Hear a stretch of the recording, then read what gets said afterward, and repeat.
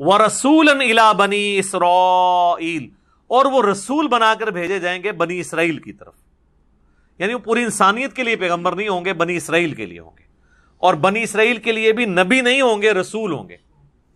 और रसूल का मतलब यह है कि जो उनसे टक्कर लेगा ना तो वही तबाह बर्बाद होगा। अल्लाह ताला उनकी स्पेशल प्रोटेक्शन फरमाएगा। अंबिया तो कत्ल भी हुए हैं, शहीद भी हुए हैं, लेकिन रसूलों की अल्लाह ताला स्पेशल प्रोटेक्शन फरमाता है। बस रसूल निला बनी इसराइल और बीच में 25 साल स्किप कर दिए अल्लाह ने।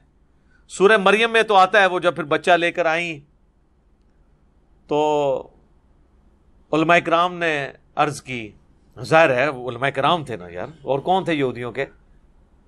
आम आदमी तो नेड़े नहीं को लगन देता कराम ने कहा कि भाई, आप तो मतलब आपके ख़ानदान में भी ऐसा कोई बुराई करने वाला नहीं था, और ये आप बच्चा कहाँ से लेके आई हैं? आपकी कोई शादी नहीं हुई, कोई ऐसा मसला नहीं है।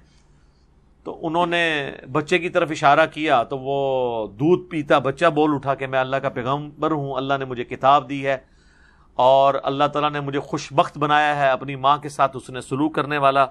सलाम हो उस दिन पर जिस दिन मैं पैदा हुआ और उस दिन पर जिस दिन मैं मरूँगा और जिस दिन दोबारा ज़िंदा किया जाऊँगा। ये सारी गुफ्तु उन्होंने की। और ये पब्लिकली उन्होंने गुफ्तु की है, लेकिन मौलवी इतनी हटधर्म चीज़ है। जैसे आप भी, आप मौलवी को कुरान हदीस दिखा दें, फिर भी इनकार कर देता है। वक्ती तौर पे वो खामोश हो गए। और जब वही बच्चा जवानी की उम्र को पहुँचा तो कहना शुरू कर दिया कि ये तो गुमराह है। और वही सारी गालियाँ देनी शुरू कर दी। हालाँकि इतना कुछ देखने के बाद, और कोई पुरानी बात तो नहीं, सर 20-25 साल पहले एक वाक्य हुआ है, और अभी वो लोग ज़िंदा हैं जिन्होंने उनको शीर खारगी की उम्र में कलाम करते हुए देखा, और अल्लाह का मोर्जा एक ज़ाहिर हुआ है। उसके बावजूद कम अज कम उन लोगों को तो मान लेना चाहिए था। लिहाजा यही मैं कहता हूँ कि मौलवी इतनी अजीब चीज़ है कि इसके सामने पैगंबर भी आ जाए ना, ये बात मानने के लिए तैयार नहीं होता। तो आप शरीफीना शरीफाना अंदाज में इनको कुरान सुन्नत मनवाना चाहते हैं? फिजिकली पैगंबर भी आ जाए तो उसको नहीं मानेंगे। इल्ला यह कि अल्लाह ताला किसी को तोफीक दे दे या कोई हटधर्मी अपनी छोड़ दे। तो अल्लाह ताला फरमाता है, अब इसको स्किप कर दिए, बीच में उनके 25 साल स्किप हो गए, शीर खारगी की उम्र से लेके तो अब डायरेक्ट हज़रत ईसा इस्लाम जवान हो चुके हैं to cut the story short और वो आके बनी इसराइल में दावत दे रहे हैं। अच्छा ईरान वालों ने ना एक फ़िल्म बनाई है, हज़रत ईसा इस्लाम के ऊपर। मेरा ख्याल है, दो, डेढ़, दो ढाई घंटे की होगी। मुख्तसर सी बायोग्राफी ज़ाहिर है कि वो समझ रहे थे कि भाई, ईसाई जो है, वो हज़रत ईसा इस्लाम का अपना वर्जन पेश कर रहे हैं, कभी वो फ़िल्म बनाते हैं पैशन ऑफ़ द क्राइस्ट के नाम से, और इस तरीके से मुख्तलि फ़िल्में उन्होंने बनाई हैं। किंग ऑफ़ द किंग्स तो वो अपना वर्जन पेश कर रहे हैं तो मुसलमान भी पेश करें कि जो असल वर्जन है तो अच्छे तरीके से उन्होंने उसको फिल्माया है। तो उसमें भी उन्होंने ये सीन भी फिल्माया कि जब वो जाते हैं यूरोशलम में, और जाके कराम के सामने दावत रखते हैं। जिस तरह आप भी समझते हैं कि उलमा तो मतलब दीन पिए हुए हैं, ये फ़ौरन मान लेंगे। तो हज़रत ईसा ने मरियम वहाँ पे जाके उनके सामने वही करते हैं कि उनकी गलतियाँ हाईलाइट करते हैं, जो उनके अंदर खराबियाँ होती हैं। तो वो फिर उनके कत्ल का फतवा जारी कर देते हैं और उन्हें उन तकलीफ़ से फिर गुजरना पड़ता है। एंड पे अल्लाह ताला उनको ज़िंदा आसमानों पे उठा लेता है, उनके शर से बचाकर। और कुर्ब क़्यामत में जब वो उतरेंगे तो फिर उन्हीं यहूदियों से बदला लेंगे। क्योंकि अम्बिया के इनकार करने वालों से फिर अल्लाह ताला बदला लेता है। हज़रत ईसीम के उठाए जाने के बाद भी यहूदियों पे अजाब की कई एक किस्तें आई हैं। एक फाइनल किस्त जो है, वो आएगी जब ये दजाल के साथ मिलेंगे तो ईसा इबन मरियम उनके खिलाफ कताल करेंगे। इस पर मेरा मसला नंबर ट्वेल्व रिकॉर्डेड है, जिसे शौक है वो देख सकता है। तो अब वो जवानी की उम्र को पहुँचे हैं, अन्नी कद जितुकुम बि आयतिम रब्बिकुम। और वो आके कह रहे हैं, यरूशलेम में खड़े होकर, अब मुझे बताएँ कि मौलवियों का क्या काम है कि जब अल्लाह का पैगंबर आ गया है तो वो अपनी मस्जिदों पे जमे मसनदों पे बैठे रहें। क्योंकि बाकी सब तो असेसमेंट के साथ दीन सिखा रहे हैं ना, पैगंबर तो वही के साथ दीन सिखा रहा है। तो जब ईसा ने मरियम ने कहा ना कि मैं आ गया हूँ तुम्हारे पास, देखो रोशन मोर्जा एक लेकर तुम्हारे रब की तरफ़ से और इतने बड़े मोर्जात लेके आए कि उसके बाद तो कोई गुंजाइश ही नहीं रहती, कोई इनकार करे। अन्नी अखलुक लकुम मिनतीनी का हई तैर। मैं तुम्हारे लिए मट्टी से, कीचड़ से, एक परिंदे की एक डमी के तौर पर एक परिंदा बनाता हूँ और फिर क्या करता हूँ? फ़ी ही फ़यकून तयरम बिजनिल्ला और फिर उसमें मैं फूंक मारता हूँ तो अल्लाह के इज़न से वो परिंदा बन जाती है। अब मुझे बताएँ, ये कोई छोटा मोर्चा है?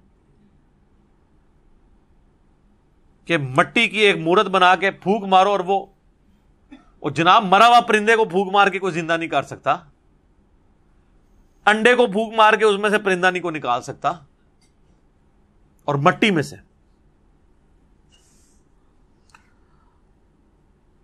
व उबरील अकमहा वल अबरसा व उहिल मऊता भी अब तीन मोरजात और आए और मैं तंदुरुस्त कर देता हूँ मादरजाद अंधे को। और कोड़ी के जो जुजाम के मरीज़ हैं, उनको भी शिफा देता हूँ और मुर्दों को भी ज़िंदा करता हूँ अल्लाह के इज़न से। अच्छा अल्लाह के इज़न तो इंप्लाइड ही था, लेकिन आप देखें सारे मोरजात के साथ भी इज़न आ रहा है। ताकि यह अकीदा क्लियर हो कि पैगंबर के अपने इख्तियार में कोई चीज़ नहीं होती है, अल्लाह के इज़न से होती है। और पैगंबरों का इज़न तो साबित है, बाबों का इज़न आपको साबित करना पड़ेगा। वो कहते हैं, जी, बाबों का इज़न कहाँ से साबित करें? बाबे तो कुरान के बाद आए हैं। तो हम कब कह रहे हैं, कुरान में से निकालें? हम कह रहे हैं, आप जो बाबों के बारे में क्लेम कर रहे हैं, लाएँ, करके बताएँ, हमारे सामने आ जाए, ये घोड़ाई मैदान। मैंने तो बड़ा आसान सा फार्मूला दिया है कि मैं अपनी मैकेनिकल इंजीनियरिंग का मशीन डिज़ाइन का या स्ट्रेंथ ऑफ़ मटीरियल का फार्मूला लिखता हूँ, कोई भी बाबा दुनिया का उसको देख के, पढ़ के बता दे। पढ़ के। समझना तो बड़ी दूर की बात है। वो तो कहानी खत्म, कि लिखा क्यों है? उसको सिर्फ़ बता दे कि लिखा क्या है। उसका मतलब क्या है, वो छोड़ दे। मतलब तो इनको कुरान का भी नहीं पता होता तो इसका भी ना हो तो खैर है। लेकिन कम अज कम पढ़ के तो बता दें। देख के। जो बंदा दिल का हाल जान सकता है, देख के तो पढ़ ही सकता है ना। तो ये कहते हैं ना जी, कुरान से आपको हदीस से कहाँ दिखाएँ, हमने यही मिसालें पेश करनी है ना। हम ये कह रहे हैं कि ये तो डेफिनेट चीज़ें हैं। आपको जो क्लेम किए हुए ना, वो करके बताना पड़ेगा। और अगर आप नहीं करके बताएँगे तो फिर ज़ाहिर आपके दावे झूठे शुमार किए जाएँगे। वो प्रैक्टिकली झूठे साबित भी हो चुके हैं।